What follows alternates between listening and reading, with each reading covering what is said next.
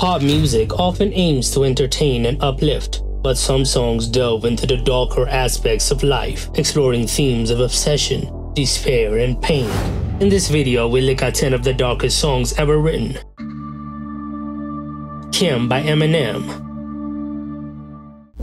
Kim is arguably one of the most intense and disturbing tracks in Eminem's discography. Released in 2000 as part of his album The Marshall Mathers LP, the song is a narrative that depicts a fictional confrontation between Eminem and his then wife Kim.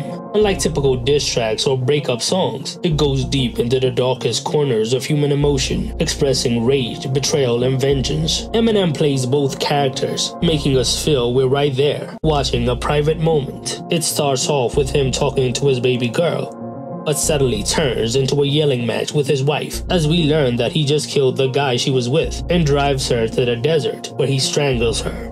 It is a prequel to his song 97 Bonnie and Clyde, which tells the story of Eminem disposing of his wife's body while talking to his infant daughter. The song's graphic and violent lyrics sparked controversy, but if you look at it as art, it's amazing. The darkness lies not just in its content, but in its execution, where Eminem blurs the line between fiction and reality, giving us an unsettling experience. XO slash The Host by The Weeknd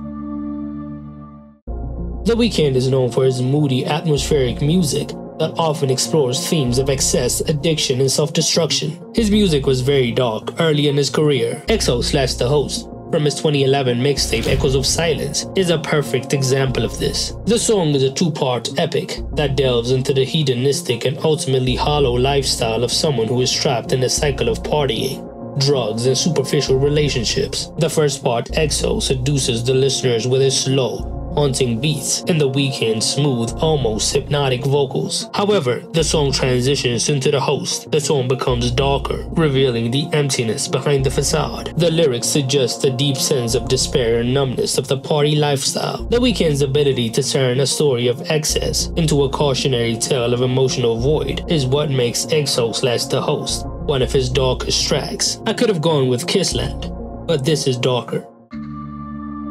Bury a Friend by Billie Eilish.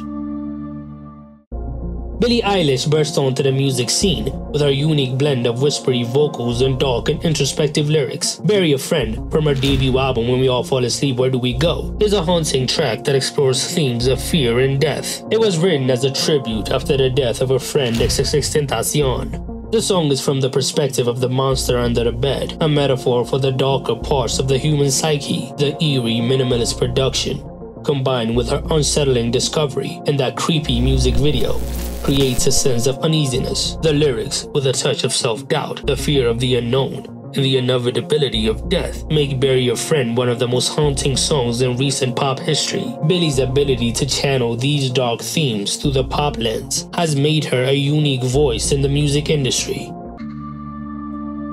Every Breath You Take by The Police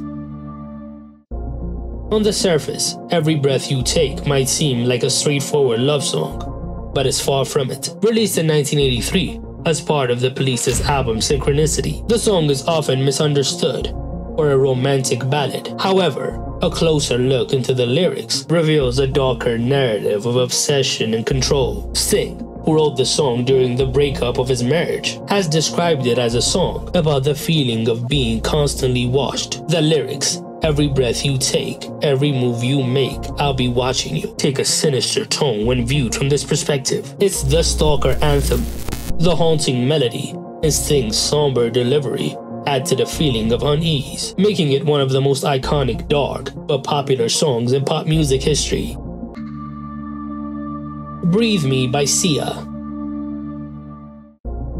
Breathe Me is a deeply emotional track that touches on themes of vulnerability, loneliness, and the need for human connection. Released in 2004 as part of Sia's album Color the Small One, the song became widely known after being featured in the series finale of the TV show Six Feet Under. The track's minimalist piano-driven arrangement allows Sia's raw, powerful vocals to shine, conveying a deep sense of pain. The lyrics, which describe the feeling of being broken and in need of help, resonate with anyone who has ever felt lost and alone. The chorus, Breathe Me, Help Me, I'm Small, captures the essence of the song's emotional weight. It stands as one of the darkest, yet most beautiful songs in Sia's catalog. It also touches on difficult subjects like self harm and depression.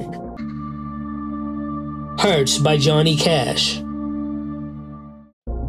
Johnny Cash's rendition of Hurt, originally written and recorded by Nine Inch Nails, is one of the most powerful covers in music history. Released in 2002, as part of his album American 4, The Man Comes Around, his version strips the song down to its bare essence, turning it into a haunting reflection on pain, regret, and mortality. His weathered voice, filled with years of life experience, adds a profound sense of vulnerability to the song. Thus, Parr's arrangement, with a simple acoustic guitar and piano, allows the lyrics to take center stage as the country legend sings about the scars left by a lifetime of mistakes and the inescapable approach of death. The accompanying music video which features images from his life and career, adds to the song's emotional impact, making Hurt a fitting farewell for one of music's most legendary artists.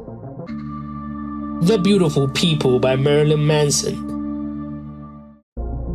Marilyn Manson has long been associated with shock rock, and The Beautiful People is one of his most iconic tracks. Released in 1996, as part of the album Antichrist Superstar. The song is a critique of the superficiality of society. With its aggressive industrial sound and Marilyn's vocals, it challenges the listener to question the values that are often glorified in modern culture, such as physical beauty and social status. The lyrics paint a dystopian picture of the world, where power and appearance are everything, and those who don't fit the mold are cast aside. The repetitive chant of the beautiful people portrays the emptiness of the society obsessed with image. It is one of the darkest songs of the 90s.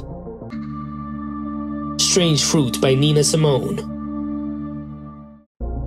Strange Fruit is one of the most haunting and powerful protest songs ever recorded. While Billie Holiday's 1939 rendition is the most famous, Nina Simone's 1965 version adds an additional layer of raw emotion and urgency. The song, originally written as a poem by Abel Meeropol, depicts the horrors of lynching in the American South, with the strange fruit in the title, referring to the bodies of black men and women hanging from trees. The slow, somber piano accompaniment adds to the song's weight, making it impossible to ignore the stark realities it shows. Nina's delivery gives you goosebumps, her voice filled with sorrow and anger as she brings the brutal imagery to life. The song came back to prominence after being sampled on Kanye West's Blood on the Leaves. Strange Fruit is not just a song, it's a stark reminder of racism and the violence and injustice that have plagued society.